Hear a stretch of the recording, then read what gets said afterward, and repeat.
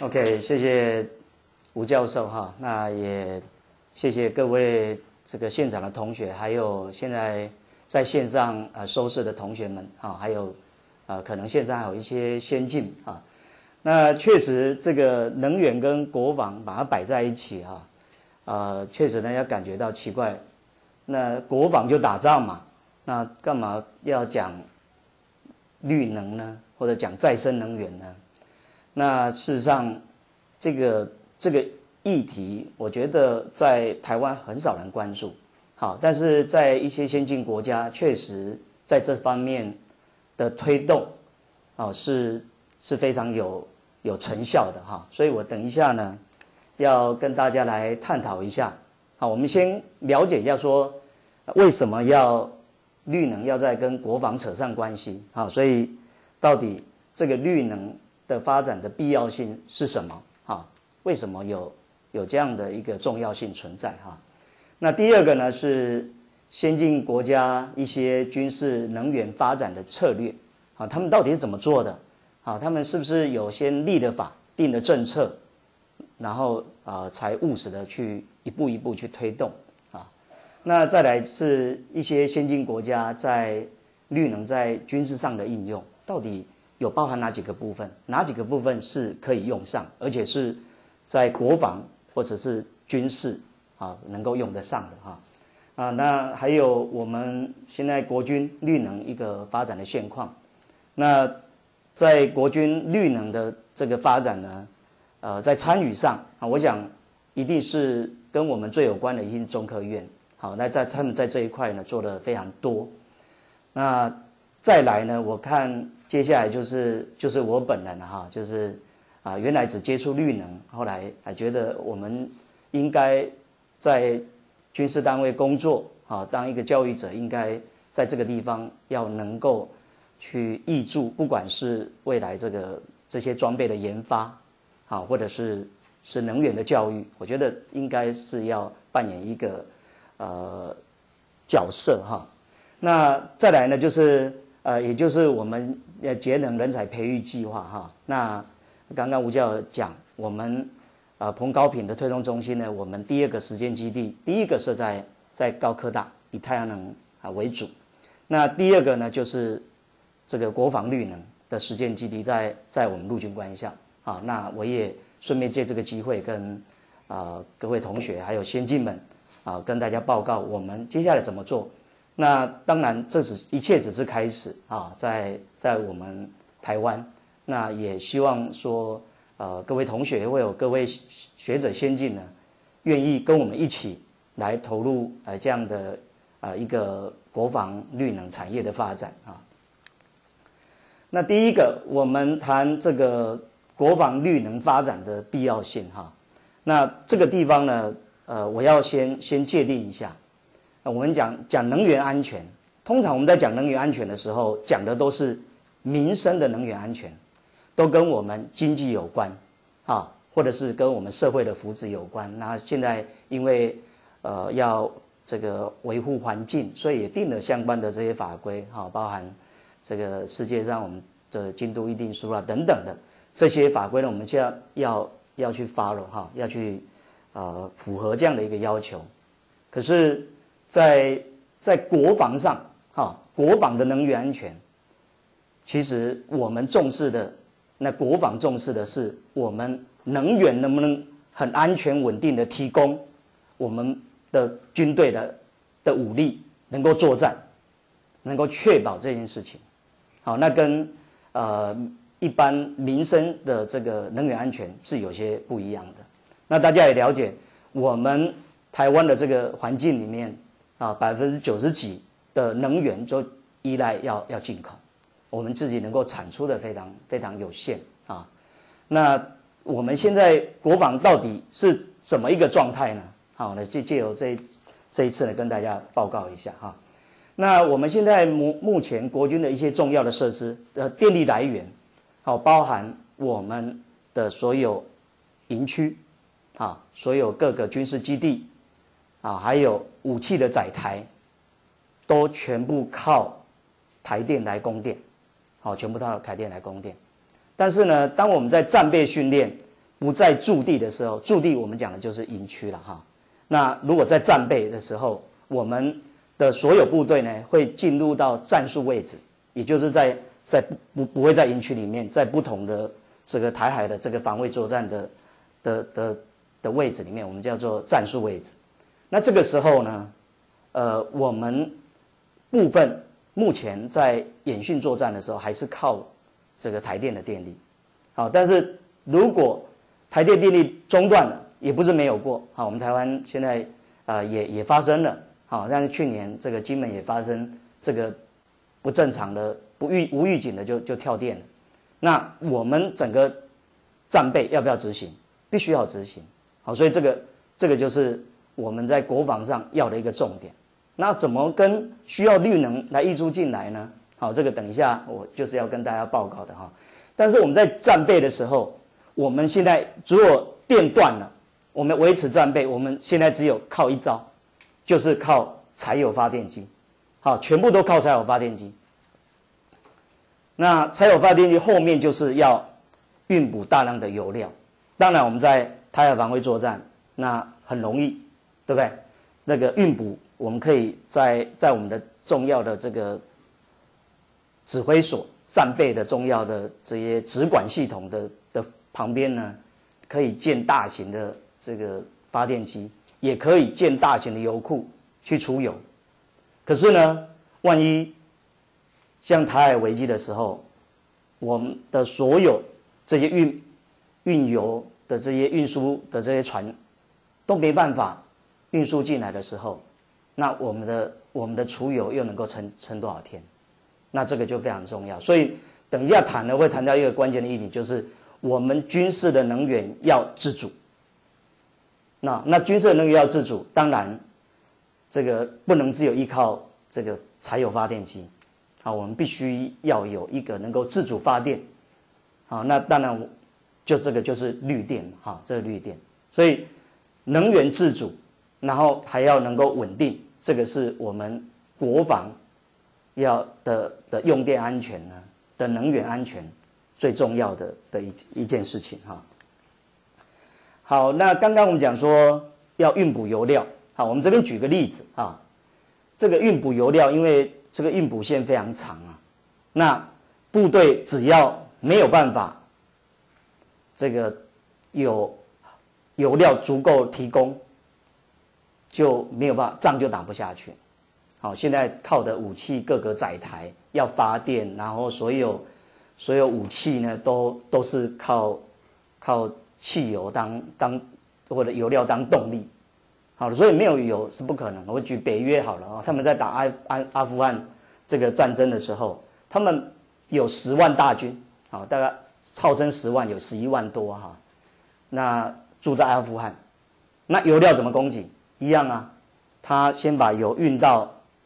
这个巴基斯坦，巴基斯坦靠海啊，然后呢，由巴基斯坦这个往内陆运，靠这个。油车来来运，那因为这个油车运呢，就就是很明显的目标嘛，在这些沙漠地区，一个运输的油料的的补给车队，那就很明显啦。那我就是打打这个车队就对了，你就让你的油料运不到，你的部队就都动不了，甚至于你的直管系统因为没电没有油，也无法运作啊，再厉害都没有用啊。那这个。因为这个爆炸事件呢，死了二十几个这个士兵，他们发觉哇，这样的运补呢是是会有带来很大的危机哈，在部队的能源安全或作战能够持续是有很大的危机，所以呢，那这个时候因为被攻击啊，所以巴基斯坦也把它的补给线呢把它关起来，把它边界关起来，他们油料也运不到阿富汗了，那怎么办？这个北约的的军队呢，就从拉脱维亚，啊，然后经过俄罗斯，经过哈萨克，啊，然后再到了哈萨克的边界之后，再把油料又由公路运输，再再运进来，好，那上面那一段呢，五千多公里，全部都靠火车的的的运补，好，那补给线这么长，那这个这个呢，就就非常可怕的噩梦哈，所以我们呃，常常在在军事上有一句话，就是打仗就是在打补给。好，你的补给不好，根本仗都不用打，光有士兵用肉搏战的，现在是不可能了哈，现在是不可能。好，所以呢，第一个，这个我们部队最重要的动力的的能源，那就就是靠油料最多了哈。那又因为这个运补，那被当成攻击的目标，那怎么避免啊？这个当然是很重要，最好能够就地就能够发电嘛哈。那那我们一定会想到，那就是就是太阳能哈。那再来呢是现在的极端气候啊，非常呃很多常常气候异常啊。那气候异常呢，轻者呢就让我们民生的用电用电量增加。那你就增加了整个，呃，整个系统的一个负载哈，那就会造成我们整个又输电输配电的这个系统呢的不稳啊，供电的不稳。那严重的话，那就是设备受到破坏嘛，啊，你可能是洪水，你可能是发生火灾，啊，你可能是飓风啊，或者是呃在在高纬度的地方，啊，那就是冰天雪地，零下几十度。啊，那这个都会造成一些气候，让我们这些电力呢能中断。好，那除了经济损失以外，其余我们国防最在乎的就是，那我们的能源能没有办法继续提供，有一个稳定的能源供给。哈，那像这个加州二零一七、二零一八的时候，呃，发生一堆野火，啊，死了几十个人。可是呢，最后又造又这个 PG&E 呢，它它又一些决决策上又错误哈，就就就倒了哈，就倒了。那在二零一六九月，这个澳洲也一样有强风跟暴雨哈，我们台湾也发生好几次的这个这个台风造来的一些天然灾害哈，也都是如此。所以因为这些天然灾害，我们原来国军只有备战，现在多了一个任务啊，叫救灾。所以在你看到在有一个台风稍微来的时候，哎，我就现在都发觉。哎，这些消防队的呢，就声音量变得非常小，全部都是国军，啊，要先先能够去撤撤离我们这些有危险地区的这些民众哈。好，那再来，另外一方面就是可能有些恐怖攻击或者网络攻击也会造成我们输电的一个中断哈。那像二零一三这个我们在戏谷那边呢，有十七个变电站被人家恶意用。用枪来去射击，把这十七个变电器呢都都坏了，那就造成大停电了，细谷整个大停电啊。那二零一五呢，华盛顿地区啊很多这包含白宫、国务院、国会山庄，呃全部都停电啊，也怀疑可能是恐怖攻击，当然后来证实不是了哈。那像这个二零一五啊乌克兰，好，它它真的就电力的网络呢遭遭到骇客的攻击，那有数十万户大停电。所以未来这种骇客的攻击，或者是这个恐怖分子的攻击啊，比如说九幺幺，也会造成停电。那电力一停摆，那像我们台湾，我们国军担负着这个所有备战的任务以外，还担任救灾的任务。如果都没电，那我们光一个通信都都没办法沟通，再怎么谈指挥作战，啊，怎么谈救灾，就都没有办法哈。好，再来呢，就是一些不晓得什么缘故哈，就是意外的就就大停电了哈。包含我们二零一七这个八月十五号的啊，这个有人去去误触的天然气的供应的这些的装置，那就就停电了，全岛就跳电了啊。那二零一九，你看金门它也无预警的停电。二零一二呢，印度三个电厂同时故障，那个。它的电电网呢就就崩溃了哈，六六点多亿人就都没有电可以用啊。那在二零零三啊也也是无预警的这个大跳电哈，它保护性的这个的的做做关闭啊，所以就造成这个非常用无预警的，好，所以这些呢都都对我们的国防的安全呢会造成非常大的威胁，因此呢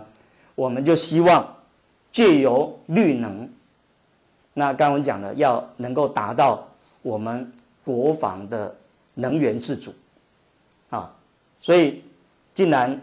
台电、市电是没有办法依靠了。有这么多因素会造成无意这个没有预警的跳脱，没有预警的电不能用。那我们也不能全部都靠这个柴油发电机啊。柴油发电机事实上我们在野战在应用上也非常的不符合作战的要求。比如说我在野外在野战在战备的时候，或者是你在作战的时候，你有一个柴油发电机那边发电。柴油发电机嘛，第一个，我们内燃机引擎就是吵嘛；第二个会造成空气的污染。光这两点，好，而且会产生热。光这三点呢，你就马上被这个你的敌军呢会发现你的位置，就没有达到逆中的效果。那这样谈何来的的作战？好，你连你的你的位置都已经被被被侦测了。啊，没有办法达到逆中的效果，所以呢，这个老实说，应该把降低这这个我们柴油发电机的的使用量跟频率，好，尽量由多的能源来提供，又也是再生能源啊，或所谓的绿能。好，那我们来看一下一些先进国家这个军事能源的一些发展的这个策略哈，那。这个美国呢，因为因为他们这个国力很大哈，那他们不只是在在他们国内啊，他们的军事武力，甚至于呢，在全世界啊，他们要当老大哥，要维护世界的和平。那所以，在各个部队啊，撒在这个全球啊，撒在全球，那他们就是定明定的法律。那我觉得这个这个事情呢，是最最最有保障的，最有可能，然后把这个政策继续推动，不会因为呃执政不一样，不会因为你的主事者不一样，你就改变了想法，啊，那他们就就定了，好，二零二五年美军全军的再生能源比率呢不低于百分之二十五，好，那他们定了之后。任何一个人来执政，任何长官再换几个国防部长一样，照样要执行这这个这个，呃，法律所规定的这个的政策目标啊。那再来呢？他们政策上怎么做？好，他们分为他们一般在战备的时候，在战略上所需要能源，在操作的这些能源哈，他们有三个这个政策哈。第一个是增加。部队的作战能力，啊，这部队作战能力还要再持续提升。第二个呢，降低运输跟执行任务的风险，包含刚刚我们讲的这些油料的运输，啊，这个都是要降低这个呃风险的哈。那第三个呢，要提高这个部队任务的执行效率，啊，你其实也跟这个刚刚的啊油料的运补有关，你的补给线长。你的部队在执行你任务的时候就没有效率啊。那在如果在在基地啊，它在装置上面的这个这个能量呢，哈，那包含一些一些装备跟设施啊，那我们要希望它它定了，希望能够降低能源的需求，然后你能够扩展那个能源的供应啊，就是说不不能把燃料石油。啊，化石燃料当成一个唯一的供应，好，它必须要多能源。所以呢，他们在各个不同的基地里面，他们有太阳能，有地热，有生殖能，啊，有水利，啊，就在多个能源、多个面向呢，啊，来来获得能源。那也希望在能源上增加一些弹性，啊，包含这个呃有微型的电网，那在。在平时呢，跟市电是是并联的，可是当当市电跳脱的时候，他们的微电网可以维持自主，啊，那配合在微电网这些智慧的管理，啊，能源的管理，那可以更有效的啊应用着这个呃所有的能源哈。那北约他们怎么做呢？哈，北约倒是没有去定一个很。明确的这个法律的的目标啊，但是呢，他们成立了，哈，他们在立陶宛成立一个北约的能源安全卓越中心，好，他们这个中心的任务呢，就是第一个要战略分做战略分析跟研究，而且呢，制定一些原则、标准跟程序，啊，就是说跟这些能源安全有关的，啊，这些议题呢，都由这个研究中心呢来负责研究，啊，负责研究，那也负责教育，啊，还有一些。呃，提出一些解决的方案啊，希望也都希望能够在这些军队呢都能够减少化石燃料的消耗啊，甚至于我们刚刚讲，哎，那我们只管作战嘛哈，但事实上，因为在社会的这个氛围跟压力之下，啊，我们因为军队也是整个国家的一环嘛哈，所以他也必须要顾及整个呃对环境的冲击。好，所以呢，现在以往，我们只管作战、指挥，啊，那只管这个作战能不能够确保任务的达成，那对环境的污染什么都不管。但是现在显然没有办法，呃，独善其身，我我就就就就这样做，其他事情我不管，好是没有办法的哈。现在都必须要考量到环境的问题。那韩国呢，他他们在一百零七年也找了这个。呃，不同的部门还有韩国的电力公司呢，那他们去签了一个 M O U 哈，要扩大再生能源的合作。他们预计二零三零年，好一样要把所有再生能源比例提升到百分之二十五，哈，比美军呢晚了五年。好，那这个韩国都做到这边了哈。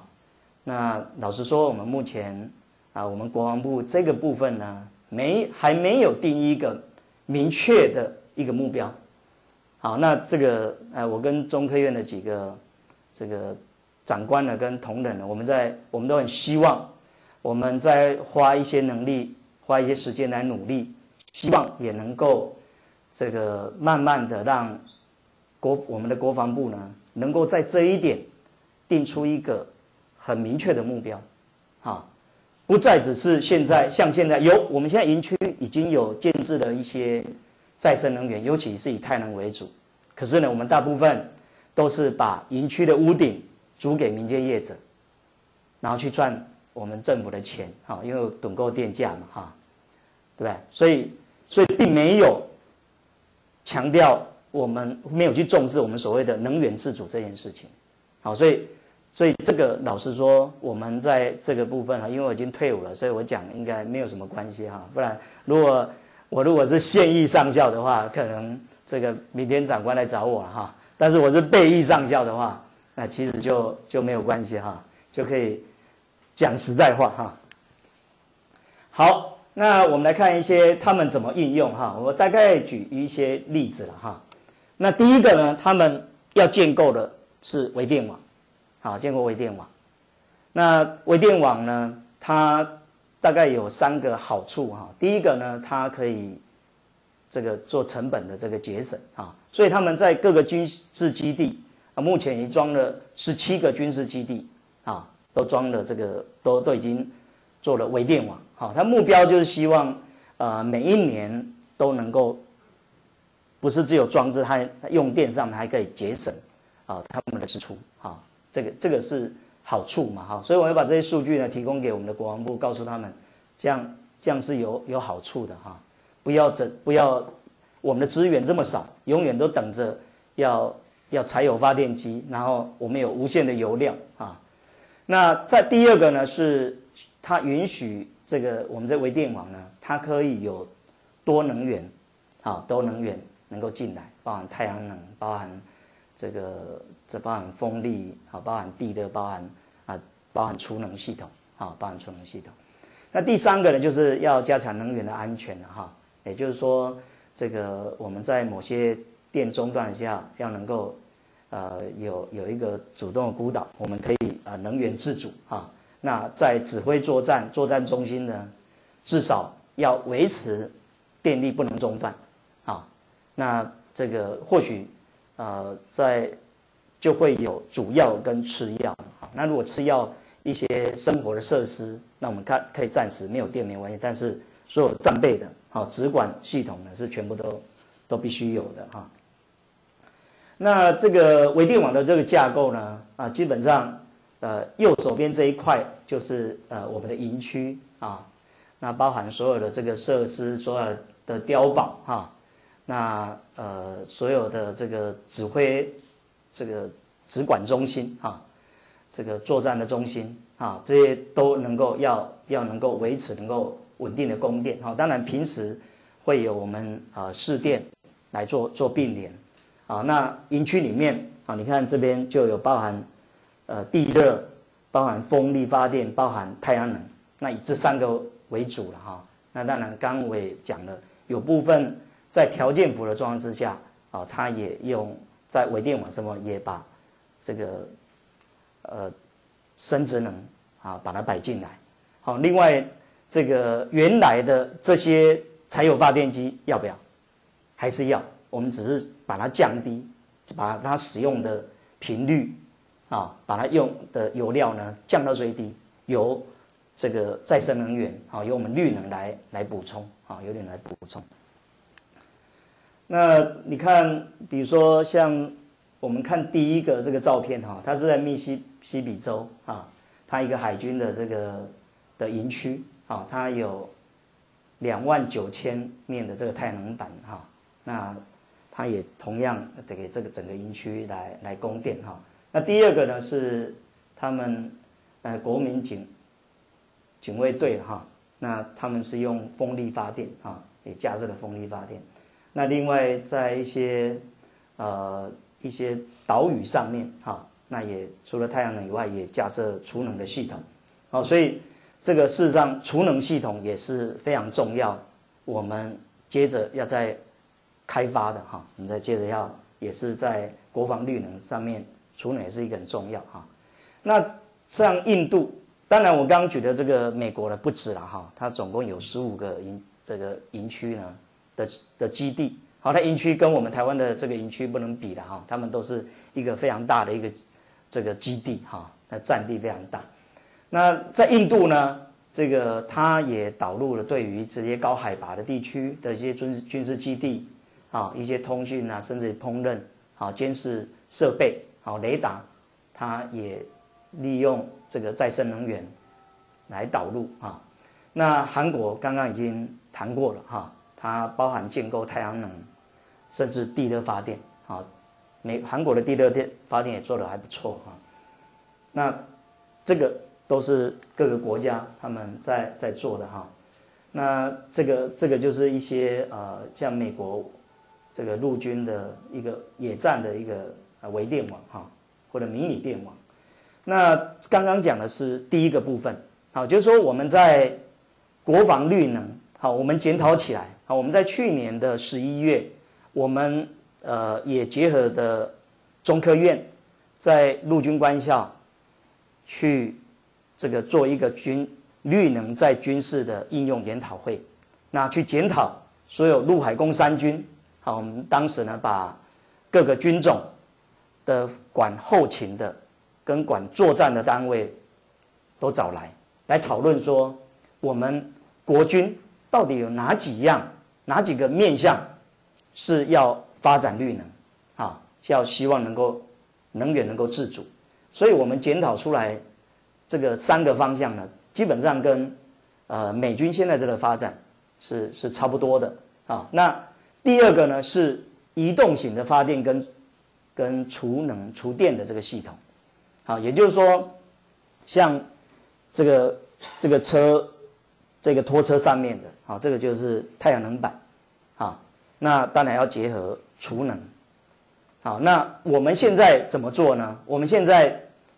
如果是营以下的单位，每个单位如果在作战的时候。我们一样有个拖车，我们的战术轮车后面有个拖车，拖什么？拖五千瓦的柴油发电机。好，这就是我刚才讲的，在一个空旷的地方，在一个野外的地方，然后晚上有一台发电机，声音轰隆轰隆叫，然后一直排放黑烟，那这个怎么会符合作战的需求呢？啊，也没有达到立中的效果。所以呢，如果这个我们的战术轮车后面拖的，就是像这样的一个移动式的发电跟厨电的系统的话，好，那这个移动式呢，包含大跟小啊，大跟小，其实就要移动，因为高度机动，因为我们现在的就是第一个战备，第二个是救灾，救灾一样，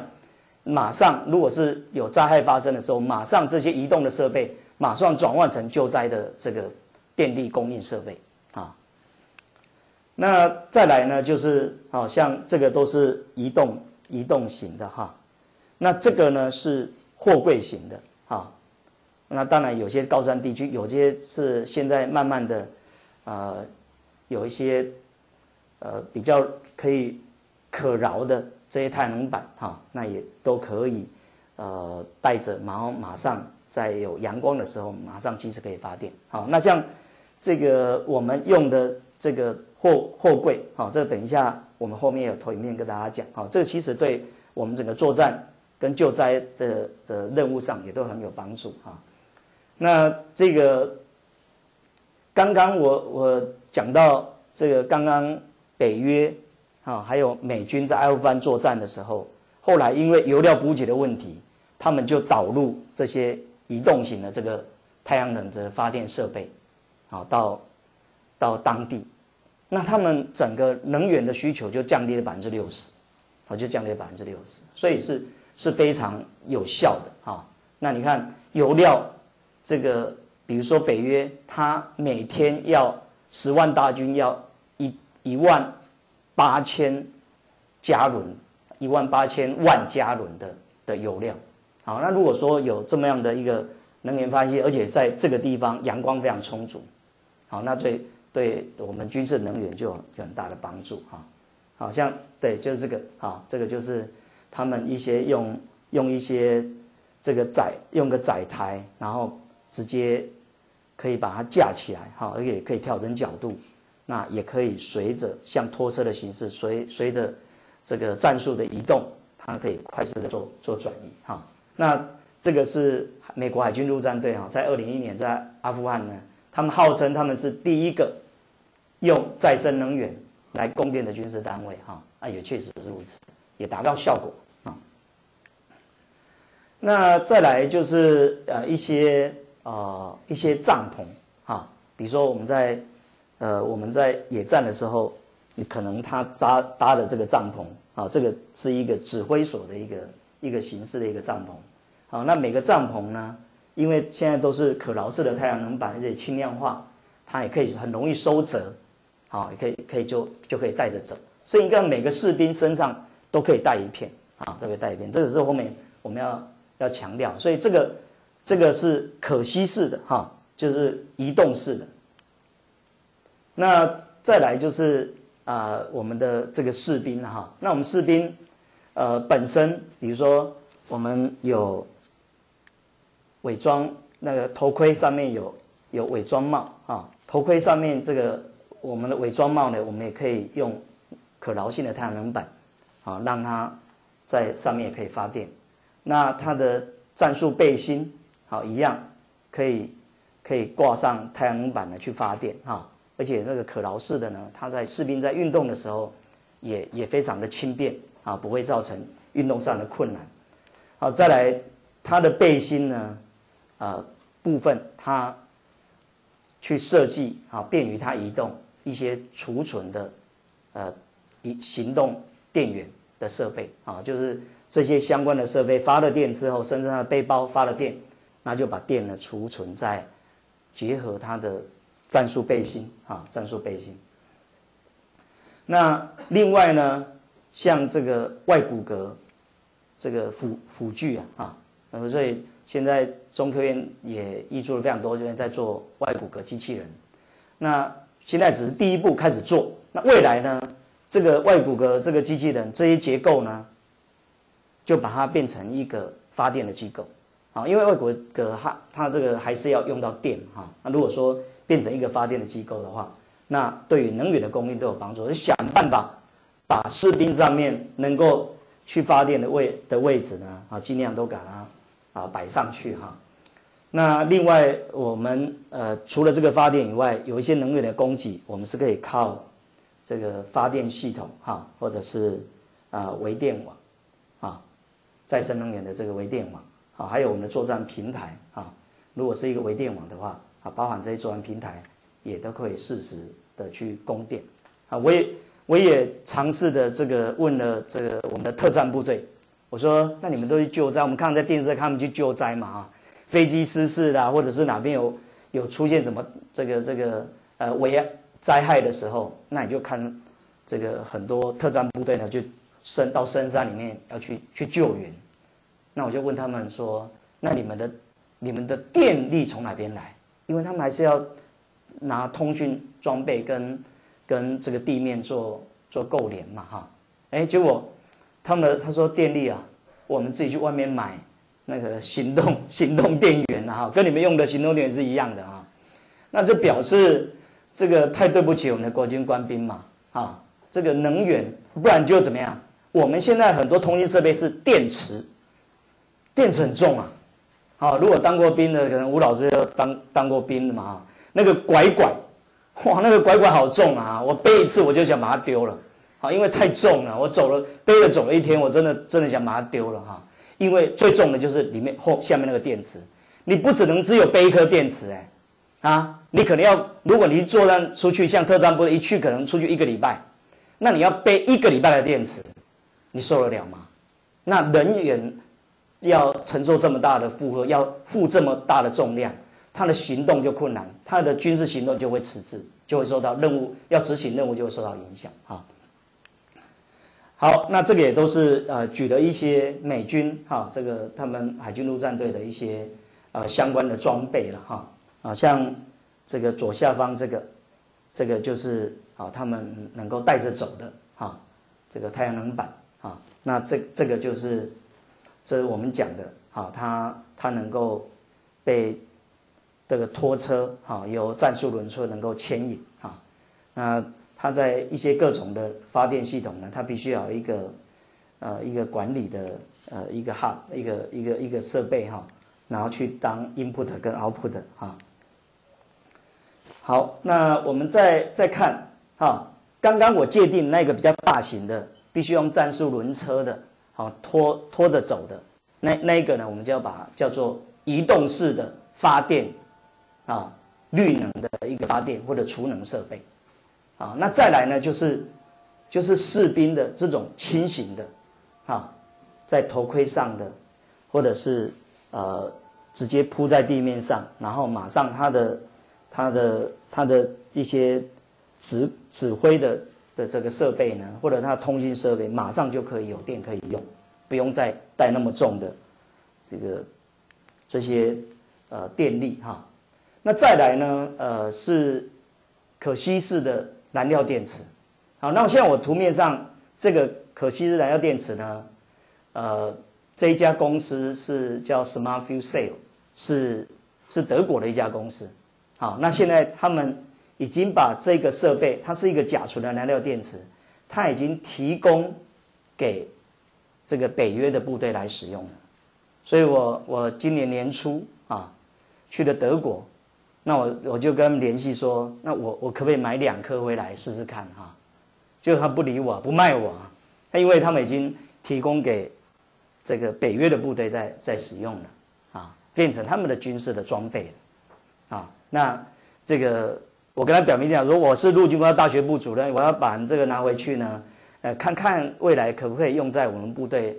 上面哈。事实上，我是想拿回来研究，看看到底它里面有效能有多好，做一些测试，搞不好我们也做相应的研发哈。那不过我们现在也找到了哈，这个陈这个台南大学的郭振坤郭教授哈，他们现在也在做这个可稀释的这个燃料电池，啊，给当兵来使用的。好，我们这一次。我们在校庆要展那个陆军官要展示给给长官看的时候，那他们那一套呢会会展示啊啊！不过我们这个是是德国的哈，所以它它这个重量呢只有一点多公斤啊啊！那它如如果说我们要带三到三天到一个礼拜的的这个电池的话，好，那它的重量只有它当然要带甲醇嘛哈，那只有原来的三分之一。重量只有三分之一，啊，那这样就减轻了很多士兵的负担。好，那我接下来呢，我我们跟中科院的做了一些努力，我跟也跟大家做做一点报告。那第一个呢是，呃，中科院呢在，呃，日光小林村，好，八八风灾的时候，日光小林村呢，去帮，帮他们，因为他们这个，呃，把它安置在这个山林这个地方，哈，把小林村的人安置在这个地方。那那时候中科院呢，呃，结合民间的几个业者，就去帮他们。做绿电，哈，等于说他每一个房子呢，都架设太阳能板，每个太每一个房子的，你看这边每一个后面都有一个白白的，这个呢是他家户的，他的它的蓄电池，好，等于说它发电呢，先储电，啊，先储电，它白天发电先储电，白天用台电的电，因为跟市电并网。那晚上的电就全部由这个他们家后面的这个储电设备呢，来来供应，好来供应。那白天这个发的电呢，如果这个每个每个家户呢，它的电呢的电池呢已经充满了，那它就会把电全部收集到社区的这个储能货柜来。好那这个储能会不会包含所有电力的调度跟控制？哈，也可以做远端的控制。那这样的一个一个形式，哈，那呃，我们接下来要研讨，等于说我们在做营区的微电网的时候，就用这样的一个架构，啊，那这个来变成我们营区的这个微电网。好，那这个中科院已经既有这样的一个技术。好，那接下来要做转移，是不是变变得就比较容易？好，接下来我们努力的可能是怎么，呃，最后能够国防部定政策，然后呃，把所有我们研发的设备纳到这个我们的装备的的清单里面，啊，那这样接下来啊才有继续推动的可能哈。啊，这个呢是储能货柜，好，这也是中科院发展的哈。那它能够快速的这个移动啊，包含我们一些演训，包含救灾，好，它是可以可吊挂式的，直接上拖车就拖走了，好，那直接放下来。那平时在营区里面，它可以靠我们营区的各种再生能源的设备对它做充电，只要多余的电就充电，啊，那有紧急用电的营区有紧急用电的时候。它就可以变成营区的紧急用电。如果营区外面，比如说我们有战术演训的时候，那一样就就拉到这个战术的的野战的战术位置，或者是救灾的的场域哈。那再来呢是这个是我们这是陆官自己研发的了哈。我们这个带着学生。那呃，我们在去年在校庆的时候呢，那那我就跟我们部长还有几位长官呢，呃，特别做简报哈。那事实上也跟小英总统呢，也也做做了做了简报哈。那也因此，在九月份汉光演习的检讨会的时候，那我们部长就指示，啊，有这么多的一些已经研发好的装备，那国军呢慢慢检讨要来要来使用，啊，就就。开创了一个呃我们国防绿能的看得到的呃一个一个愿景哈，因为长官已经指示了哈。好，那我我们这个这个装备呢，这个这个移动式的发电的跟储能设备呢，我们那边的储能现在只是一个小的十千瓦的啊一个示范哈。我们的用的概念是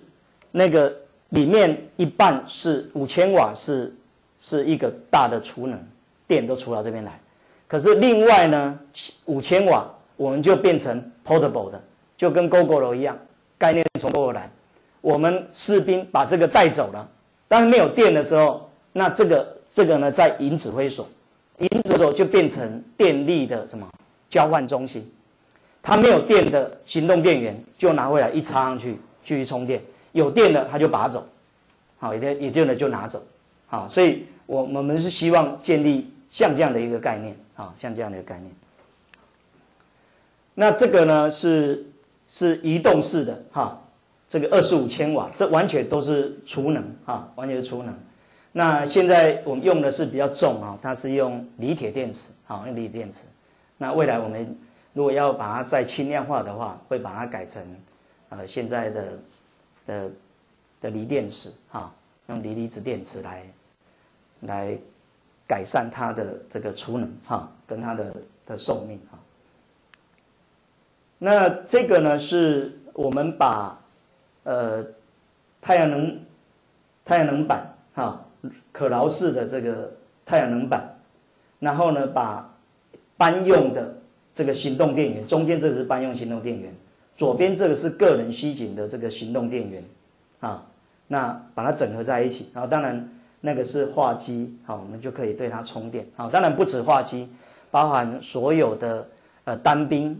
会用得到的，包含夜视夜视系统，它需要用电的，有些枪呢。在瞄准具，现在也都需要，呃，用电子瞄准啊，有光光学的瞄准，也都用到电。好，这个太多，现在太多的包含我们的这个作战图像啊，类似像 PDA 啊，这个呢都可以，因为有这样的一些设备的开发。好，那当然我们后面要努力的是怎么符合军规，你要防水防震。啊，防防各种这个呃耐候性的测试等等的，好，这个那就可以来给部队来来使用哈。啊，那这个这个就是我刚刚讲的哈，这些这个把它变成像狗狗啦，随时可插拔的哈，是一个呃单兵好跟五比较适合的啊一个，那这么一个呃。单兵的这种三百四十二千瓦的、三百四十二瓦的呢？如果我们刚刚那一个单兵的那个无线电机，啊，我们这个算过，大概可以撑，如果是待机的状态，可以撑十五天，好，待机，好，那呃，如果在呃间断性的这个通话，大概只有九天，好，大概九天，那这样就足够应付他在比如说特战部队的作战，啊。的通讯来使用啊，这个就是我们所谓的这个板以上的啊，这强固型的。好，那这个接下来呢，我们呃有一些啊，还有一些可劳式的，未来也可以再呃再进一步的来来来发展哈，跟应用怎么去跟我们现有国军的这个装备结合？好，那现在我们国军装备是都。没有去整合，呃，我们这些发电的这这个系统哈，那这个都是我们未来要努力的。我们也期待啊，有更多的学者先进呢，跟我们一起为国防的绿能呢啊尽尽心力哈。好，那最后一个部分呢是要介绍一下我们目前呃国军官兵的能源教育我们怎么做哈？那这是结合我们呃教育部的洁净能源人才培育计划。那，呃，我们的整个大的这个愿景呢，是希望能够发展国防绿能科技，而且奠基国防的能源自主。好，所以刚我一开中民就跟大家讲，我们最重要的就是要能源自主，啊，能源自主。所以呢，我们 除了这个要开发一些绿能科技在军事上的应用以外，我们也希望有一些产学的链接啊，结合很多民间他们既有的技术啊来做整合。那呃，我们在计划里面要求我们必须要对大学教育在能源上面啊能够去扎扎根，有包含呃模组的课程导入在我们的专业课程里面，也有通识课程，也有专业技术训练课程啊。那另外呢，我们希望更希望。因为是这个是已经是变成我们呃洁净能源应用那采培计划的重点了哈，我们要担负去对我们所有国军官兵的一个能源教育哈。那在应用上，刚刚就是我我讲的哈，我们讨论起来就只最重要就是三大块，现在美军也是这样做，一个是营区的微电网，啊的，第二个呢就是移动型的发。发电跟储能设备，第三个是 portable 的哈，小型单兵的啊，就能够带着走的这些发电跟储能设备啊，那基本上都是要用使用绿能啊。那像这种 portable，我们建造起来，就刚刚也讲了一个是可挠式的这个太阳能板，如果一般我们这个封装的太阳能板就就太重啊，那可挠式的随时我们折叠，甚至于直接就塞到背心里面，直接就放在背包里面，它就可以带着走了啊。那是那在行军的过程当中，它马上太阳来了，它马上给它披在它的战术背心后面或者背包后面，它就可以发电啊。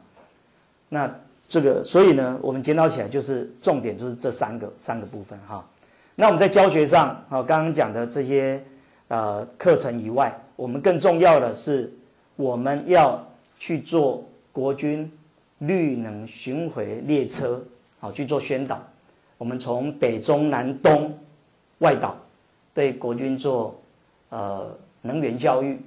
那事实上，我们陆军官校占占的地利之便哈。为什么战地之变呢？因为每一年，比如说像现在，马上六月底呢，所有军事院校，包含军官、士官，有四千多个学生呢，全部集中到陆军官校来受训，受八周的我们称为陆训练。这个时候，我们就把能源课程直接导入，啊，那第二个呢是他们毕业的时候，他们所有军事院校又回到陆军官校来一起毕业，毕业办一个联合毕业典礼。那他们也有两周的时间在那边上各种的课程，以未来毕业时候军官要要需要的一些课程。那我们把能源课程也导入，那这样又有这个那边只有军官哈，大概有两千五百位，啊，两千五百位。那在我们南部地区的所有军事训练役，好，就各位同学以后毕业之后会有四个月的这个军事训练，只要南部的，那大部分都会到陆军官校来，四个月就一梯，四个月就每一梯两千人，四个月就一梯，啊，那这个这个这样呢，也会有大概六千人，所以我们每一年大概可以在国防绿能。被我们能够触及，被能够呃通过我们的这个一些课程的讲授啊，那并且能够来参观这个实验基地，大概会有将近一万二到一万五千人啊这样的一个规模啊。那所以这个呃我们洁净能源人才培育计划的的总主持人啊林大辉教授呢，他说。你们呢不需要，因为你们营区呢要开放，要登记啊，要要换证啊，太太麻烦了，也不用对待一般民众了，就直接对国军官兵做能源教育，那就是我们最大贡献。比如说那个四个四个月的这个国防这个训练役的，四个月之后他就回到民间，四个月就回到民间，那这个这个训练的能量，对教育的能量是是是最大的。我相信大概是所有全国的。这个计划里面所有七个推动中心、十四个实践基地，大概以后在训练上面、在效能上面，我相信这个是国防绿营这个实验基地应该是是最最多人次的哈。那再来后面，我们当然也有呃配合推动中心，还有这个整个总计划办公室，我们有各种的啊的课程跟包含科教的啊，包含自工培训。那维运的部分呢，我们也不能收钱哈，也不能对对厂商有任何的这个呃有跟他有有资金的益助，所以我们完全会用利用国防部的经费来来推展这样的一个啊工作哈。那这个也欢迎各位同学，这个年底我们就要开张了哈。那也欢迎这个同学们也能够到我们陆军官校来参观。我们的位置呢是。我们这个陆军官校这边有个黄埔湖了哈，被一个一个很漂亮的湖，那我们就在湖的旁边有一个叫觉明楼，啊，我们在觉明楼这个地方刚好前年呢，我们花花了将近三千万去把一个很老的的这一这一栋两层楼的建筑呢，啊，有六百多平的楼地板面积，把它整修完啊，那我们去年把它争取下来，这个就变成我们绿能的实践基地哈。那一楼我们做这个中小型的这个呃绿能的展示以外，那二楼的这边有两到三间教室可以做教学跟实作的教室，那么屋顶会有一个三十千瓦的呃太阳能发电。好，那呃左侧这个地方还有前面的地方呢，我们可能会有一些绿能怎么结合，比如说我们的指挥所，啊，怎么比如说这个移动式的这些储存设备，啊，那就可以在户外展示，包含呃我们实体的指挥所的搭设，怎么把把绿电呢能够直接发完电直接导进来，好，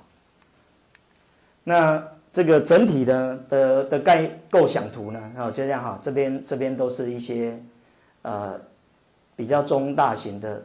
的厨发电跟厨电系统哈，还有指引指挥所了哈。那楼上那个电源呢，我们现在规划主要是太阳能板，好，跟这个黄埔里面的这个浮水载式的啊太阳能发电系统，还有一个风光互这个互补的一个。一个一个路灯啊，大概的来源是这样，做只做一个一个示范哈。那 这个是上面在教学一些呃教室的一些规划了哈。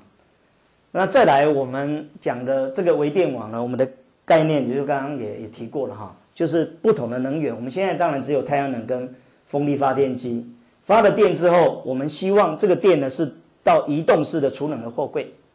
啊。那移动收容货柜如果有试电，目前这整个系统是跟台电并网，好，庭长直接提供给银色的这个所有用电的负载，好，那如果台电断电了，那马上电源直接切换，好，给我们重要的直管设施，好，有我们重要的这个作战指挥的的作战中心，啊，或者指挥所来来用电。啊，如果是营区是这样，那如果是呃在救灾或者战备演训的时候，那这样的一个储能货柜呢，就直接由拖车直接就拉到我们需要的战术位置，还有这个救灾的场域哈。好，那这个未来呢，我们在要展示呢，包含这个有这个一影车，不管是储能的，会有太阳能跟储能，嗯，还有。这个野战的一些太集水或者是过滤过滤设备，尤其是在高山野外，那它水呢是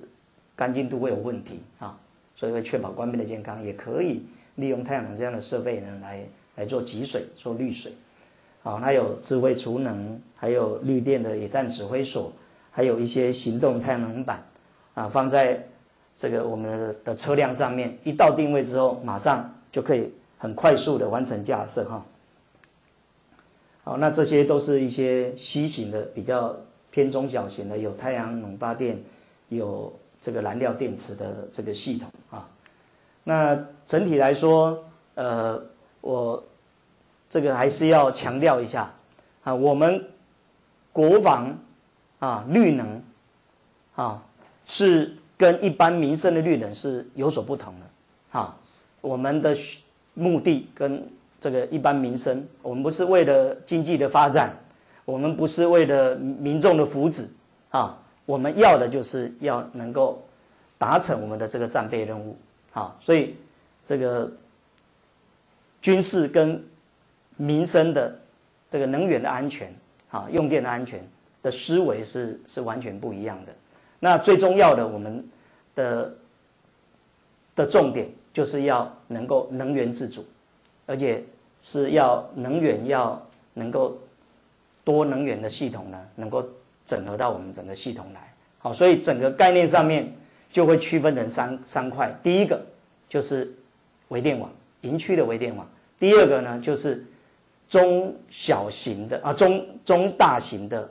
这个移动式的这些发电跟储能设备。那第三块呢就是单兵带着走的。啊，随身的这种发电跟储能设备，啊，包含太阳能，包含啊燃料电池，啊，那啊，以上是我跟大家的报告哈，那接下来是有 Q&A 时间啊。